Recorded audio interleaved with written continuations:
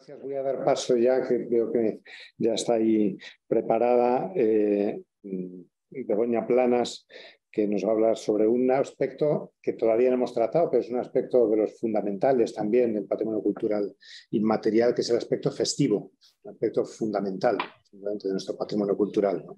Eh, nos hablará sobre las tamboradas. Eh, antes de nada, le voy a hacer también una pregunta: ¿tamboradas o tamborradas? Eh, toques rituales de tambor. Begoña Planas, bueno, pues adelante, Begoña. Buenos días.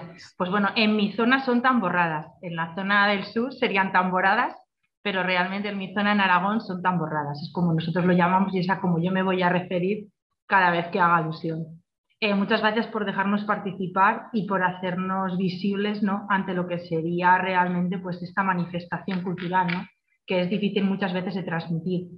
Yo me voy a basar en lo que es mi experiencia personal y bueno, lo voy a hacer a modo de discurso, no estoy acostumbrada a participar en eventos así, entonces espero que bueno, que ante todo os eh, resulte amena y que bueno, que un poco entendáis el sentimiento que las gentes de estas tierras sentimos ¿no? Eh, con los tambores y con estos rituales.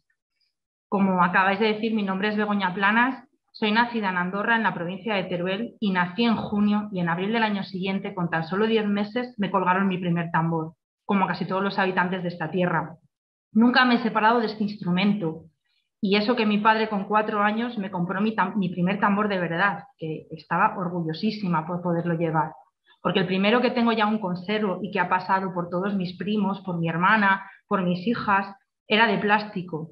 Y ese primer tambor de verdad, que tenía 36 centímetros de diámetro, que uno a lo mejor no se hace la idea, pero es mucho, es como casi dos palmos míos, eh, pesaba alrededor de tres kilos o más de peso.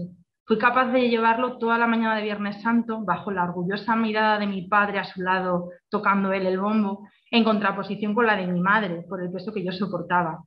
Pero creo que aquel día terminó de nacer en mí ese sentimiento de amor hacia este instrumento que me une a esta tierra y que forma parte orgullosa de mis raíces. Solamente he dejado de tocar el tambor en dos ocasiones, los dos embarazos de mis dos hijas, aunque tengo que confesar que asistí a los momentos más importantes de esta celebración para nosotros, que sería la rompida de hora en la noche de Jueves Santo y el cese de tambores en la tarde-noche de Sábado Santo. No con el instrumento colgado, evidentemente, pero sí oyendo y viendo cómo se celebraba. Así que participo activamente en esta salvaguarda del patrimonio cultural inmaterial, que son las tamborradas, toques rituales de tambor. Esta declaración eh, de la UNESCO aglutina a 17 localidades de cinco comunidades autónomas que sienten una misma pasión, amor por el tambor, junto con la tradición y salvaguarda del mismo. Cada una de estas manifestaciones tiene cosas en común, pero también tiene diferencias propias de la cultura de cada pueblo y que van unidas a la celebración de la Semana Santa. Cada año miles de tamborileros y tamboristas nos reencontramos en una de las 17 localidades para pasar un fin de semana mostrando y disfrutando de nuestros tambores y bombos este año nos esperan en Tobarra, en Albacete, el 17, 18 y 19 de marzo. Estamos ya en puertas. Allí cada uno muestra cómo son sus toques y rituales. Aprendemos unos de otros en un ambiente extendido y de fiesta en torno a este instrumento. Año tras año se forman, se forman lazos de amistad que perduran, aunque nos separen muchos kilómetros de por medio y que solo nos veamos físicamente una vez al año. Por medio de este vídeo que se mostró en Isla Mauricio el día de la inclusión en la lista de bienes inmateriales, quiero daros a conoceros esta manifestación cultural porque además es muy variada. Y como bien se dijo el 18 de noviembre de 2018 en Isla Mauricio, nuestros tambores no son de guerra, por tanto que suenen los tambores y que callen las armas en todo el mundo. A ver si ahora soy capaz de poderos eh, compartir el vídeo.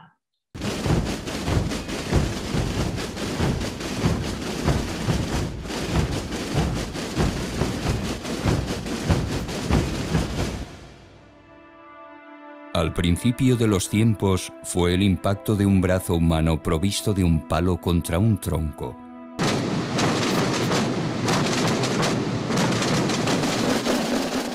El resultado provocaría uno de los primeros sonidos creados de una manera artificial por nuestra especie. Estos impactos rítmicos han servido desde hace miles de años para comunicar sensaciones, para llamar a la guerra, para transmitir alegría, pasión, tristeza o peligro. incluso para ahuyentar a los malos espíritus, acompañar ceremonias o para reproducir las fuerzas incontrolables de la naturaleza.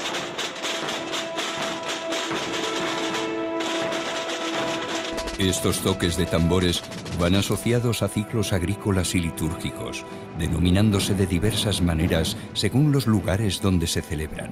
Tamboradas, echar las cajas, los tambores, rompida de la hora, fiesta de los tambores, romper la hora.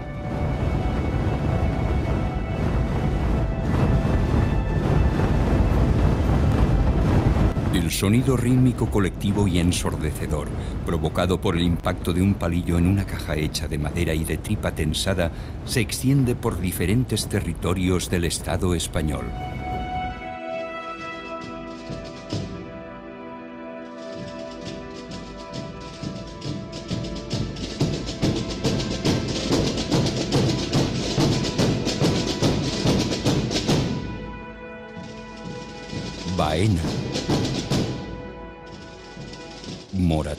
Mula.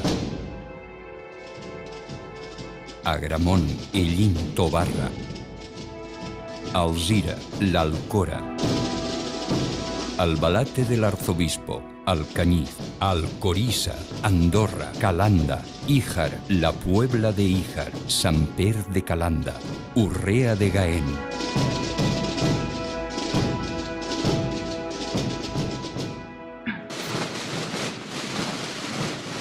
En el contexto de la Semana Santa, estas poblaciones son invadidas pacíficamente por una masa de personas que tienden a emitir un solo latido. Un latido rítmico, ancestral, participando de un ritual que reúne a miles de tambores.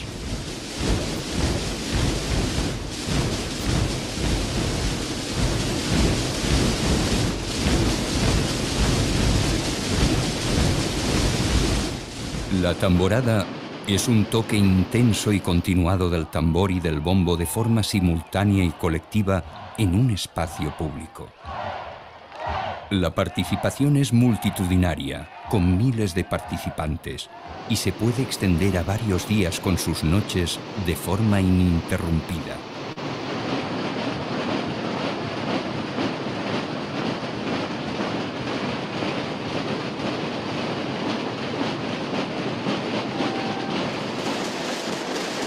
Son días en que todo el pueblo es un espacio colectivo, democrático y ritual donde todos se igualan. Este escenario es una síntesis de la convivencia en sociedad. Hay mujeres y hombres, niños, ancianos, jóvenes y adultos.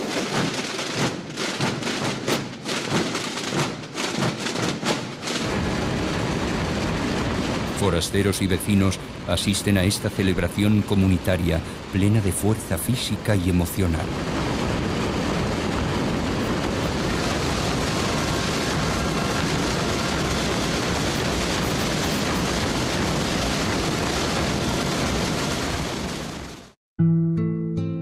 De la misma manera que nosotros, los seres humanos, no hay dos tambores iguales. Manos artesanas se ocupan durante todo el año de elaborar y preparar con mimo los instrumentos que hablarán con voz grave y romperán con el invierno. Además, otras manos confeccionan la ropa que llevarán los protagonistas en esta manifestación profunda, donde los colores tienen sus propios significados. En algunos casos, uniformados. Se combinan los capirotes, terceroles, capuces y cascos con túnicas, pantalones y pañuelos en el cuello. En otros, la vestimenta es libre. También una gastronomía específica acompaña a esta celebración.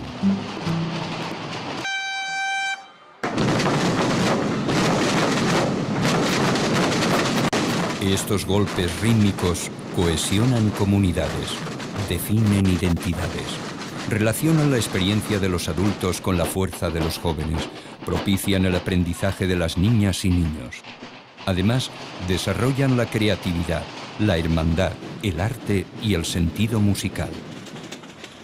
La dimensión social e identitaria de las tamboradas ha trascendido los rituales locales de cada comunidad, creando el Consorcio Nacional de los Pueblos del Tambor y el Bombo de España, que anualmente celebra las jornadas de exaltación de estos dos instrumentos con sede itinerante, convirtiéndose en lugar de encuentro para las comunidades hermanadas por rituales del tambor.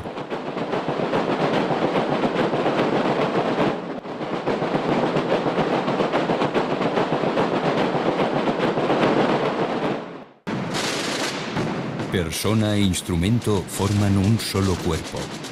Una simbiosis inseparable entre el pueblo, la tradición y el individuo.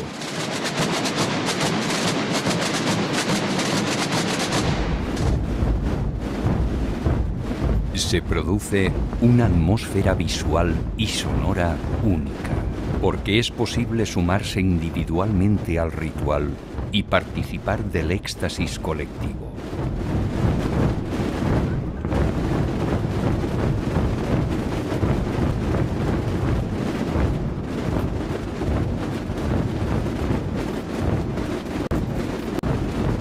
Todo el ceremonial de las tamboradas destila un respeto a la diversidad y a la creatividad.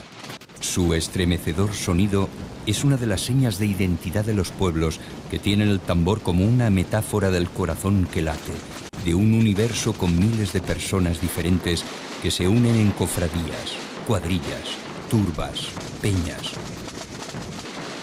realizándose en estos marcos actividades paralelas que estimulan continuamente su práctica. Son estos grupos, junto con las familias, los que transmiten la tradición de generación en generación.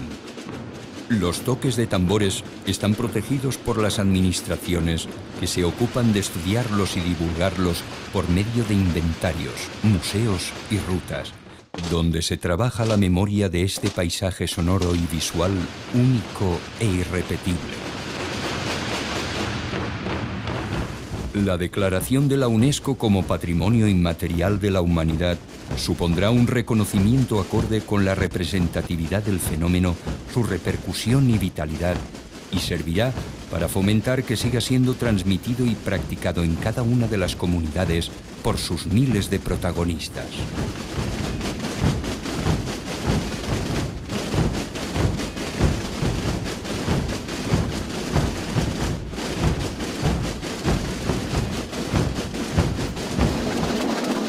Las personas se sienten trasladadas a otro mundo. Con la percusión y el transcurrir de las horas, el dolor y el placer se confunden.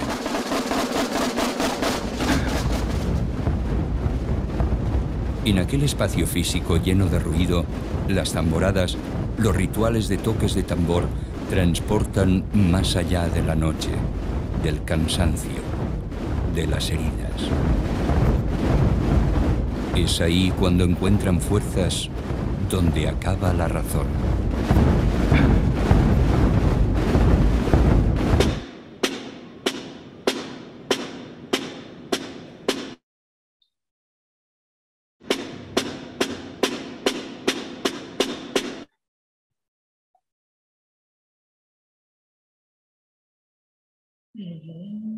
A ver, un segundo que se te pide que me veo.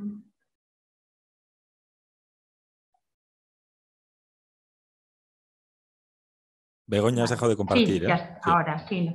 Eh, aquí lo que quería es que veréis la variedad ¿no? de lo que es la declaración, porque realmente mi zona es muy diferente a la zona que nosotros llamamos del sur, que sería la zona de Castilla-La Mancha o de Andalucía.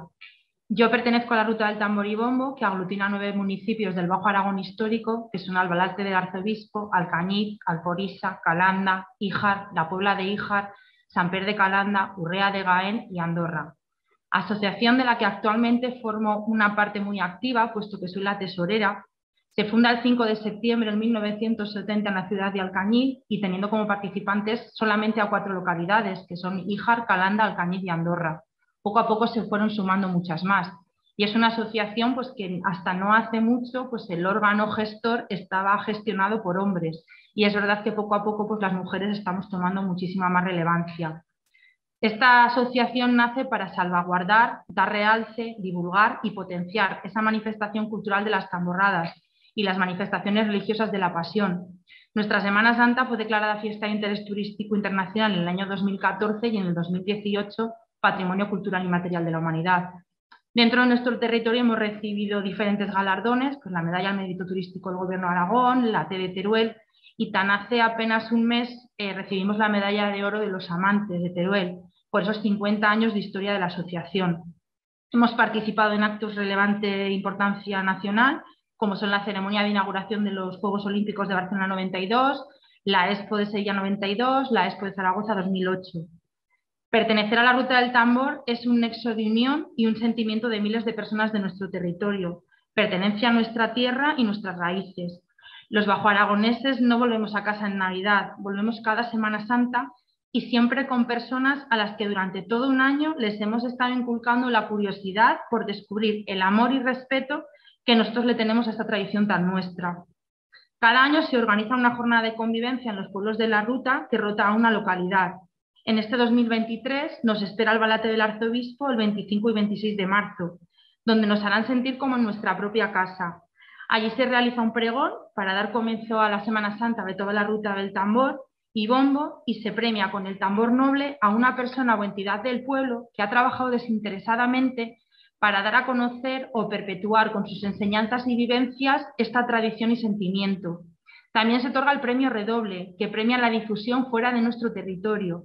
En concreto, en el año 2019 se le otorgó a la UNESCO. Además del pregón, se realiza una exaltación donde cada pueblo muestra sus toques en un escenario y se celebra una tamborrada donde las nueve localidades comparten sentimiento, toques y sobre todo señal de pertenencia. Tenemos grandes lazos de unión y amistad con todos los habitantes de estas localidades y sorprende al que viene de fuera que por medio de un, instrumento estemos tan unidos en un mismo sentimiento y que a veces solo nos vemos de año en año. Pero esto, que esto hay que sentirlo, hay que venir a esta tierra y poder disfrutar y vivir lo que es tan difícil de explicar para nosotros pero que una vez se ha vivido en carne propia es fácil de comprender. Os voy a compartir ahora, a la vez que os voy a ir contando otras cosas, eh, lo que sería un PowerPoint que he preparado, pues un poco con lo que sería mi paso por esta tradición, cómo yo he empezado y un poco, pues bueno, cómo lo que representa para mí.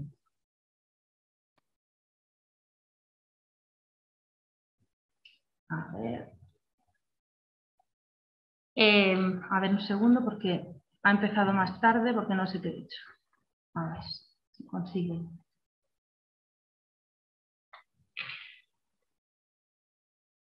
Si pudiera resumir en tres palabras lo que para mí significan las tamborradas, serían tradición, amigos y familia. Siempre las he vivido así y no las entiendo de otra manera. Significa, por un lado, un punto de encuentro con la familia, íntimo, de recogimiento y echando mucho de menos a los miembros que el tiempo y las circunstancias nos han arrebatado, pero a la vez orgullosa de poder transmitir a mis hijas ese sentimiento inexplicable en estas fechas, vivido siempre en familia, participando de una tradición en la que abuelos, tíos, primos, hermanos nos reunimos y participamos de una misma ilusión. Momentos vividos que siempre estarán en mi memoria, esas meriendas de las tortas de Pascua en casa de mi madre, el trabajo que todas las mujeres del Bajo Aragón comparten preparando los menús típicos de la cuaresma, el ritual de la preparación de las túnicas para que en momentos premios, previos a salir de casa ese caos desaparezca, puesto que todo está preparado y a punto, y orgullosas nos vean disfrutar. ¿Qué sería de nosotras que ahora participamos más activamente si no hubieran estado ahí facilitándonos todo? Hubo un tiempo en el que en algunas localidades el toque del tambor estaba solo para los hombres, pero que a finales de los 80 ya se normalizó para todos. Las mujeres se dedicaban a velar el monumento o mormento en las iglesias, preparar las túnicas, peanas y cuidar de los más pequeños para que los hombres disfrutaran de las noches de las tamborradas. Comencé en la primera escuela de tambores que nace en 1984, aunque tuvo el tambor desde que nací. Allí conocí a mi gran familia Beltambo. Con mi grupo La Estación somos un grupo de amigos de edades muy variadas que disfruta alrededor de este instrumento, jornadas nacionales, jornadas de la ruta y Semana Santa. Y no concibo una rompida de horas sin ellos, aunque el resto del año cada uno llevemos unos caminos separados. Tengo la suerte de que mi hermana comparte esta misma pasión o locura y que me acompaña siempre. Ni siquiera puedo imaginar en mi cabeza vivirla sin ella a mi lado. Rompida de, de hora que cada año vivo con ilusión, pasión y respeto, y que cada año comienza desde de la misma manera desde 2018, Año, perdón, desde el 2010, año en el que falleció mi padre, mirando al cielo, porque aunque no está conmigo en la plaza, sé que está conmigo, con mi hermana y con mis hijas. Orgulloso de que no faltemos a la cita. Llueva, nieve o haga frío. No nos paró ni la pandemia, puesto que en todo el Bajo Aragón sonaron los tambores y bombos desde nuestros balcones, ventanas y terrazas. Soy miembro de la cuadrilla de los posesos del tambor y bombo, con la que disfruto de risas y nervios, cuadrilla que se forma con miembros de Albalate del Arzobispo, Alcoriza, San Pedro de Calanda, Utrillas y Andorra para concursar en hija y que cada octubre se reúne para ensayar, formar la marcha y compartir todos esos buenos momentos. A día de hoy recogí el testigo que mi padre me tendió en la enseñanza del tambor y ahora soy yo la que cada cuaresma intenta enseñar y hacer llegar esa pasión a los niños para que podamos mantener viva la llama de esa tradición tan importante y arraigada en este territorio del Bajo Aragón. Solo me queda invitaros a que nos acompañéis para que podáis sentir lo mismo que nosotros y que tan difícil me es de explicaros porque es algo que nace desde el corazón. Ruego que me, que me disculpéis cuando me emocione, pero la verdad es que yo comencé en esto porque mi padre quiso que yo comenzara con él. De hecho, yo no elegí tocar el instrumento, mi padre tocaba el bombo y cuando yo nací decidió que yo tenía que tocar el tambor porque así podríamos salir juntos a la calle y disfrutar de esta pasión que él tenía y que todos los miembros de, esta zona, cualquier habitante del Bajo Aragón histórico, si me escuchara, pues realmente lo, compartiría, ¿no? Y creo que al igual que eh, el resto de localidades que formamos parte de esta declaración. Entonces, simplemente daros las gracias, espero que mi vivencia os sirva y sí que es verdad que las mujeres eh, hemos tomado una parte muy activa, puesto que antes estaban como pasa en las campaneras, que eran segundonas y realmente estaban detrás. Eran las que preparaban en casa para que todo fuera bien, fuera bien en las tamborradas y en Semana Santa, pero es verdad que a día de hoy formamos parte activa, nos subimos a los escenarios cuando tenemos que representar a nuestra localidad y mostrar lo que sería nuestra tradición. Y hoy en día estamos equiparados y sí que es verdad que no hay ninguna diferencia entre nosotros. Así que muchas gracias a todos y espero que os haya resultado interesante. Bueno, muchísimas gracias, Begoña muy interesante y muy emocionante. O sea, has transmitido de, bueno, la emoción que llevas dentro. O sea, que es, eh, que es, bueno, ha sido una presentación preciosa, sobre todo por eso, o sea, porque ha sido llena de emoción y, bueno, yo he tomado tres notas, de, sea, notas de tres cosas que creo que, que también son como de las que deberían salir si, si, hay tiempo, porque en esto nunca hay tiempo suficiente en estas jornadas, pero bueno, quizás pues esta tarde en la, en la mesa redonda pues os dé tiempo. A mí me, ha sorprendido, por un lado, cuando hablamos de transmisión intergeneracional, en realidad estamos hablando de mucho menos de lo que queremos hablar, ¿no? estamos quizás casi en la superficie, porque claro, lo que es fundamental no es que sea lo intergeneracional, sino que es sobre todo transmisión en la intimidad, en la intimidad de la familia, en la intimidad de los amigos que se crea también, la intimidad del grupo. ese aspecto eh, de comunidad que se genera, pues es, claro, es fundamental.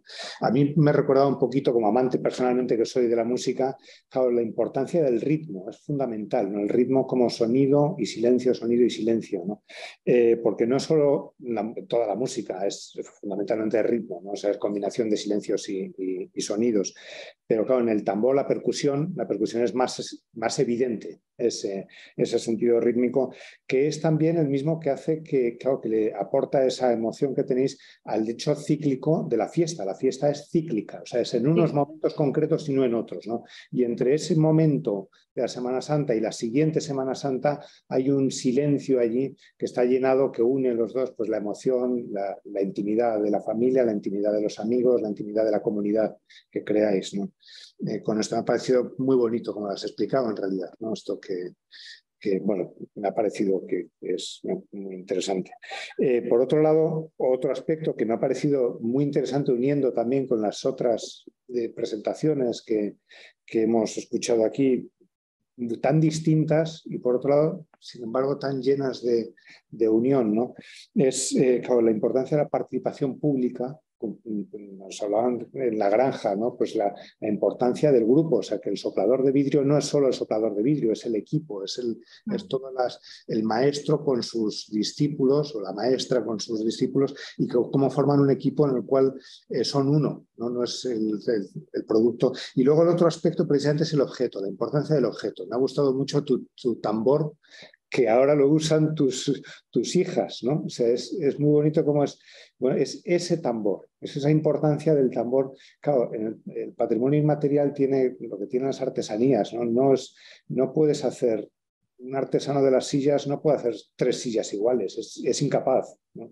cada uno suena diferente, además, o sea, es que lo compras en el mismo artesano y mm. ninguno suena igual, o sea, cada uno tiene un toque personal porque están hechos con las manos en eso me ha gustado mucho que en realidad el, objeto de vidrio que ha hecho el vidriero o la vidriera también es, es, único.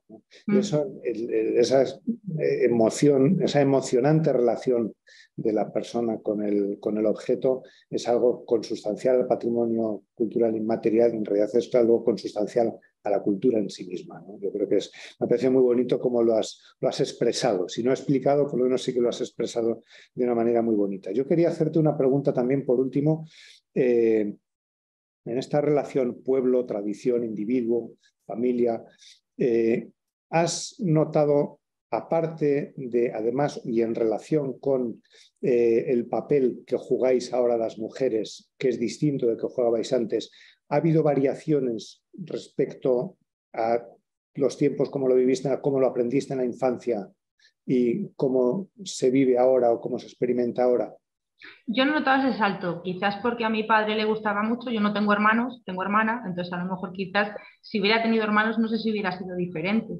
Yo ese salto no lo he notado, o sea, yo desde el primer día salí a la calle con mi padre a tocar y aquí en Andorra concretamente nunca ha habido esa diferencia ya en esa época las mujeres estábamos incorporadas y realmente aquí el regalo cuando uno nace, en otros sitios se dice que viene con un pan debajo del brazo, pues aquí viene con un instrumento. Puede ser un bombo, puede ser un tambor, pero realmente es el regalo que, que, te hacen al nacer, ¿no? Entonces es verdad que no hemos notado esa diferencia. Quizás lo hemos notado más a la hora de coger cargos de responsabilidad o en las cofradías, en las juntas de cofradías o en la, pues como digo, en lo que sería la ruta del tambor, pues es verdad que lo que es actualmente lo que es la Junta Ejecutiva tiene presidente, tesorera y secretaria. O sea, realmente somos dos contra uno.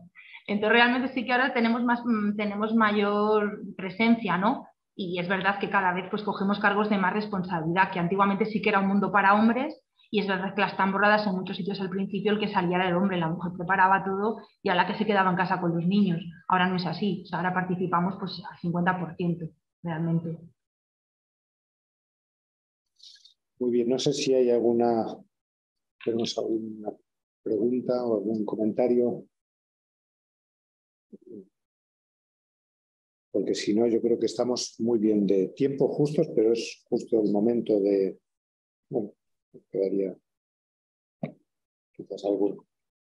Pues vamos a, entonces, muchas gracias y vamos a a cerrar aquí hasta la tarde, vamos a comer hasta las cuatro y media y nos vemos de nuevo a las cuatro y media. Entonces. Muy bien. Gracias. Gracias a todos y gracias por vuestra atención a todos los que estáis aquí eh, atendiendo. Y, bueno, pues eh, nos vemos a las cuatro y media.